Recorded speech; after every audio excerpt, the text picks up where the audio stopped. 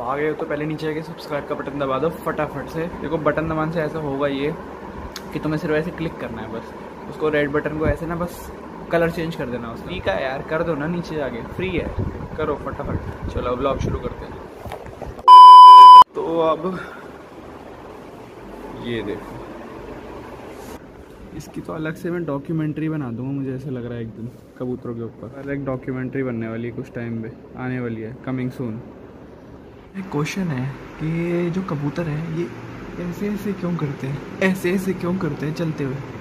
बताओ मेरे को जरा। तो अब तो अब ऐसा हो रहा है कि बोर्डम बहुत ज़्यादा हिट कर रही है, हद से ज़्यादा, घर बैठे बैठे अब नहीं बैठा जा रहा। इस लॉकडाउन में जिसने गवर्नमेंट की बात नहीं मानी, जो है, सबसे ज़्यादा बाहर निकला है, सबसे ज़्यादा, वो है मेरा पेट। मतलब जब से निकला, अंदर ही नहीं जा रहा। चलो अब थोड़ा हेल्दी खाना खाया जाए।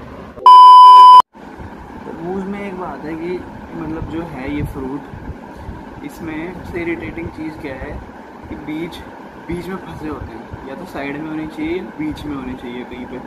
ये ऐसे स्कैटर होते हैं, इधर, उधर इधर, उधर उधर। बीज ही बीज है, देखो। जैसे कहते हैं, खा सकते हैं इसका बीज, कोई दिक्कत नहीं होती बट फिर भी अच्छा नहीं लगता ना। फिर जूसी जूसी वाटर मेरा मुँह में आता है, ऐसे एकदम बीज आया था तो इरीटेटिंग लगता है बहुत। मैंने कुछ दिन पहले चीज़ नोटिस करी। हाँ वो तो पेड़ भी बात करते हैं। देखो।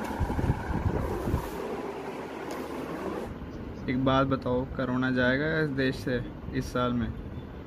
हैं जाएगा? सारी पब्लिक को बता दो तुम बातें करते हो? तुम बोलते नहीं मुंडी लाते बस हैं? क्या कबूतरों ने तुम्हें परेशान कर रखा है? और ये जो पेड़ हैं ये क्या ले रहे हैं? ठीक। Okay bye bye bye bye bye bye जो मेरे पेड़ पौधे ना, मिस्टर बीन के टैडी जैसे हैं। जैसे मिस्टर बीन का टैडी कैसे बात करता है, वैसे ही मेरे पेड़ पौधे बात करते हैं, ठीक है? और हाँ क्या बोलते हैं कि अमेजोन की एक सीरीज़ आई है पताल लोग ज़रूर देखना, बहुत अच्छी है। अरे मैं क्या सोच रहा था कि यूट्यूब पे बहुत ज़्यादा नेगेटिविटी फैली जा रही है आजकल टिकटॉक और से यूट्यूब वाली। बात और कि कई लोगों को ही लग रहा हो, अगर और लॉकडाउन में तो यूट्यूब चैनल चालू कर लिया, वेले बैठे थे, कुछ नहीं है तो ये कर लिया, ऐसा कुछ नहीं है। बहुत टाइम पहले से कर रहा हूँ ये। देख लो पुरानी वीडियो कोरोना से भी शायद पहले से ही कर रहा हूँ मैं। हाँ आई थिंक सो बट हाँ बट ये लॉकडाउन से तो बहुत पहले से कर रहा हूँ मैं। अच्छे से बताया इतना मुझे। उसके बाद भी यार सब्सक्राइब नहीं करता यार कोई। कर लो यार, कोई देखता तो कर दो। कर दो कर दो। कोई किसी को बता ही नहीं रहा। किसी को बताना ही नहीं है। कोई किसी को कुछ नहीं कर रहा। चुप एकदम। कर दो फटाफट, दबा दो बटन। 2020 ना बहुत अजीब गया है मतलब 2020 में इतनी सारी चीज़ें हुई हैं। पहला अर्थ क्यों गए हैं, जो आई थिंक सो कभी नहीं आए इतने सारे एक टाइम पे। पहले अभी कुछ साइक्लोन भी चल रहा है, वो भी है। और फिर करोना फिर यूट्यूबर से टिकटॉक मैं सोच रहा हूँ, अगर ये इंटरनेट ना होता तो भाई हम लोग तो घर में पागल ही हो जाते। मैं तो खुद पागल हो जाता। जितना फ़ोन में मैं लगा हूँ इस टाइम पे लॉकडाउन के टाइम पे, शायद ही कोई लगा हो। पूरे टाइम फ़ोन पे होता हूँ मैं, पूरे टाइम पे। टाइम पास ही नहीं होता ना यार, और कैसे टाइम पास करें? कितना, क्या क्या कर लेंगे बताओ? जैसे थोड़ी ब्लॉगिंग कर लेता हूँ तो थोड़ा अच्छा लगता है, उसमें थोड़ा टाइम पास हो जाता है मेरा। चलो वो आप बंदे को ढूंढ रहे इसने सबसे पहले मेरे को बोला था ना हैप्पी न्यू ईयर पकड़ के मारूँ उसको पहले तो मैं। काय का हैप्पी काय का न्यू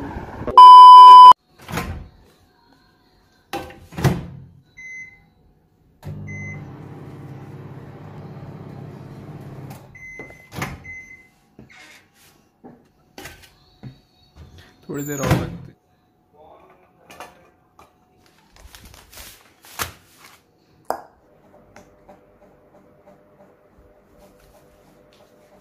एक चीज़ दिखाऊँ? ये जो बाबा जी है ना हमारी, ये तंजलि वाले बाबा जी रामदेव हैंड सैनिटाइजर भी निकाल दिया भाई इन्होंने। एक बात मुझे समझ नहीं आई। हमेशा ये लोग ये क्यों लिखते हैं? 99.99 परसेंट जर्म्स मारेगा। भाई वो 0.1 परसेंट कहाँ जाता है मेरे को बताओ?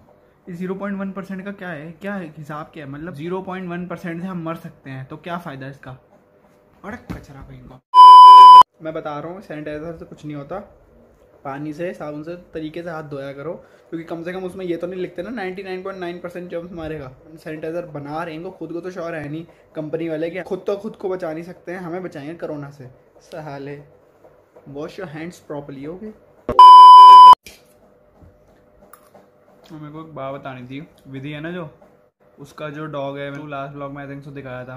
उसका डॉग है बीगल वो हो गया बीमार। और उसके बाद एक और डॉग है, वो है लैबरा। वो भी बेचारा मतलब कभी कभी बीमार ही पड़ रहा है अभी इस टाइम पे। हुआ क्या उनके घर में? तीन कुत्ते हैं, वो लोग जॉइंट फैमिली में रहते हैं। तो जो उसके भाई के पास है मतलब जो इसका कज़न है, उसके पास जो डॉग है, उसको टिक फीवर हो गया था। तो ये टिक फीवर ना कुत्तों में फैल जाता है। फुली बीमार ज़्यादा ना हो फीवर ना फैलाओ, बहुत दिक्कत देता है कुत्तों को। होप करते हैं जल्दी ठीक हो जाए। चलो बाकी फिर let's hope for the good अच्छा ही हो सब कुछ। एक तो यार मैं क्या बताऊँ, ये घर का खाना खा खा के दाल रोटी पक गया हूँ मैं, बिल्कुल ही। अब ना यार वो डोमिनोज का पिज़्ज़ा आ रहा है। वो मिल जाए ना यार, मज़ा आ जाए। मिल तो रहा है बट मैं मंगाना नहीं चाहता जस्ट बिकॉज़ ये कोरोना के चक्कर में, कि पता नहीं कैसे कौन बना रहा है, कैसे हाथों से तो इसीलिए। पर यार दिमाग में तो वही आ रहा है चलो, कोई बात, खाएँगे, वो भी आएगा टाइम अपना टाइम आएगा। अपना टाइम आएगा। अच्छा वैसे इस लॉकडाउन ने काफ़ी नए नए वर्ड सिखा दिए हैं, जैसे कि quarantine self isolation social distancing भाई, ये कभी वर्ड नहीं ज़िंदगी में सुने थे, ना मैंने कभी बोले थे। अरे क्या क्या सिखा के जाएगा तू? क्या बनेगा घर में पता है?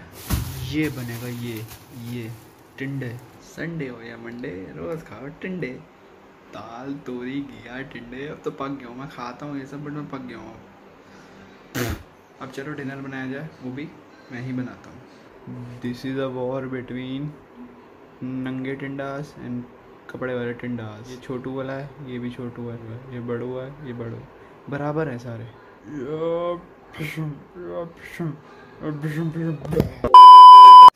सारे टिंडे शहीद हो गए। रोना आ रहा है।